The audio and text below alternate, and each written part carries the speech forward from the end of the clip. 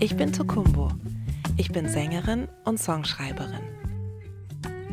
Vielleicht kennst du mich von meiner ersten Band Tok Tok Tok oder von einem meiner letzten beiden Alben, Queendom Come und The Swan, auf denen ich meinen ganz eigenen Folk-Noir-Stil erfunden habe.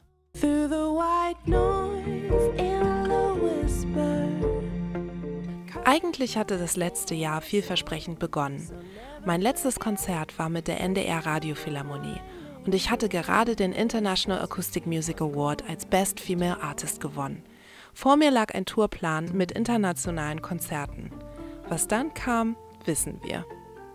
Als die ersten Konzerte abgesagt wurden, gründeten zwei befreundete Musiker und ich die Initiative Airplay for Artists, mit der wir viele unabhängige Künstlerinnen und Künstler ins Radio bringen konnten. Und ich beschloss, das Jahr zu nutzen und mein neues Album zu schreiben. Als Mutter im Lockdown eine ziemliche Herausforderung. In jeder freien Minute zog es mich mit meiner Gitarre und meinem Notizbuch in unser Gartenhäuschen und schließlich konnte ich das Album mit meinen beiden Produzenten und Bandkollegen Ulrich Rode und Matthias Meusel zu Ende schreiben. Und jetzt, da die ersten Demos auch aufgenommen sind, möchte ich ins Studio gehen und mit der kompletten Band das Album aufnehmen und in die Welt bringen. Auf dem Album stelle ich eine neue Facette meines Folk-Noir-Stils vor. Leicht, filigran, verspielt in einer Zeit, in der wir auf uns selbst zurückgeworfen sind, wollte ich ein Album voller Lebensfreude und Zuversicht schreiben. Meine Songs sind wie Kurzfilme. In meinen Geschichten schaue ich durch Schlüsselloch und gehe mit der Lupe ganz nah ran. Die Kompositionen sind auf diesem Album stark beeinflusst von der Kunst der großen Songwriter der 70er Jahre, wie den Carpenters und Carole King. Komm mit auf die Reise und werde Patin oder Pate meines neuen Albums und ich nehme dich mit hinter die Kulissen der Produktion. Hinter mir steht meine großartige Band, mit der ich seit nunmehr neun Jahren zusammenarbeite. Ulrich Rode an der Gitarre und Matthias Meusel am Schlagzeug, die mit mir auf die Suche gegangen sind nach dem Klanggewand für die Songs.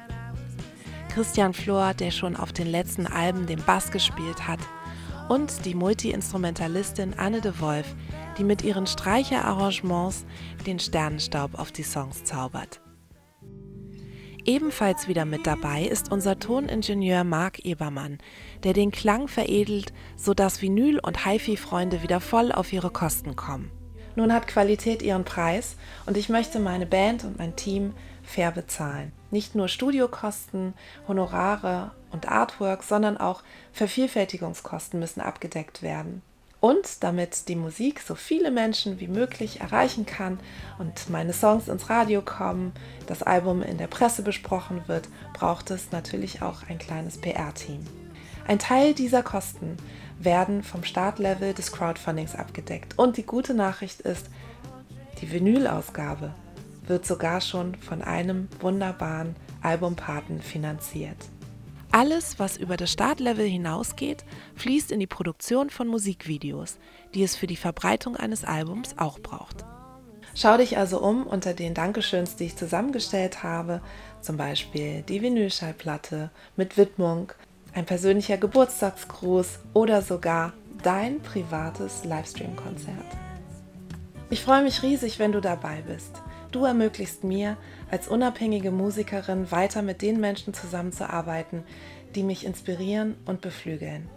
Und jede Unterstützung und jedes Teilen ist willkommen, damit so viele Menschen wie möglich meine Musik kennenlernen können. Gemeinsam sind wir mein Label. Losing my cool, thought I